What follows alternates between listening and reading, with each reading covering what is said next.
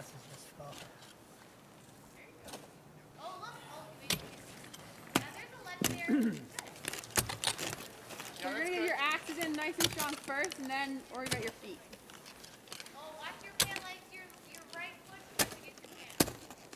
Watch your pants.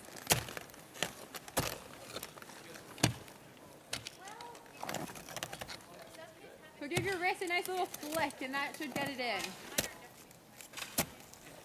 You go.